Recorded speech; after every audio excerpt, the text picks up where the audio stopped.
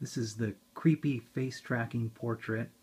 You're looking at an LCD monitor with just a nice frame around it, and it's hooked up to a Raspberry Pi Model B.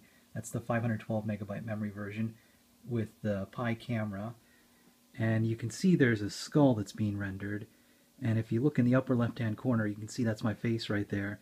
Um, and that's video from the Pi camera with face detection running through OpenCV. And as I move around, we should be able to see if it grabs my face that the skull, it's turning to follow me. So if I move around a little bit more. So you can see that it tracks my face. Uh, you can see the, the, the video from the camera. It's detecting faces every two seconds. It takes about 800 milliseconds or so for the face detection to run. Uh, so it's pretty good quality and decent latency. And this is the creepy portrait using a webcam, so you can see up there, instead of the Raspberry Pi camera. It's still hooked up to the Model B, just through a USB hub here.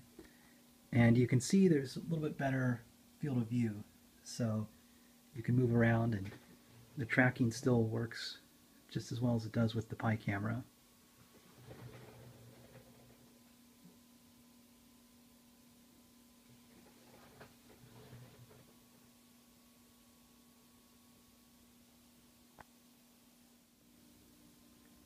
And this is the creepy portrait running on my PC.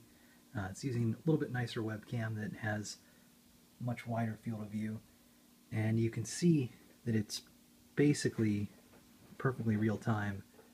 So as I move around, skull follows me everywhere. And you can see the face detection it's much quicker and it's actually so fast that I have to apply some smoothing so that the face detection doesn't jump around that much.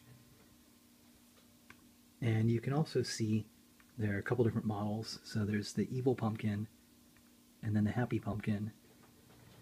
And all of these follow you around. And then if you look a little bit closer, there's a little bit nicer shader that's doing some bump mapping when it runs on the PC.